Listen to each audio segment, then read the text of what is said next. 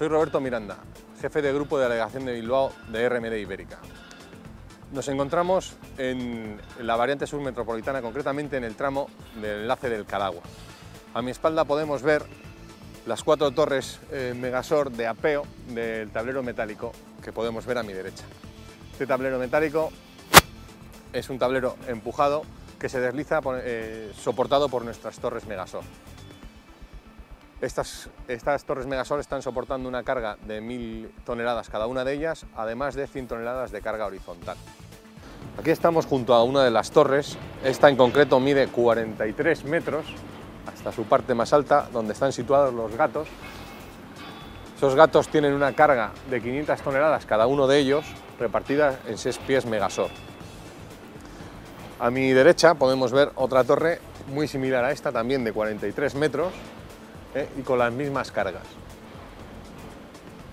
Para esta solución se ha utilizado Megasor y eh, Super Slim.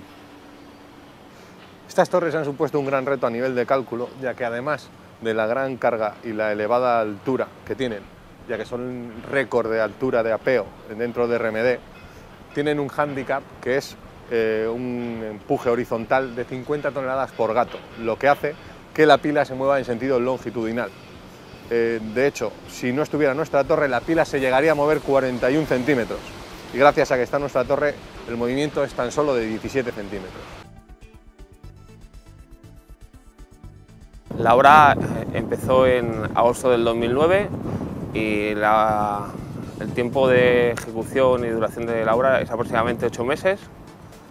Y el tiempo de ejecución de cada una de las torres, las más grandes que tenemos al fondo, es eh, aproximadamente un, mes, cuatro semanas, entre premontaje y montaje.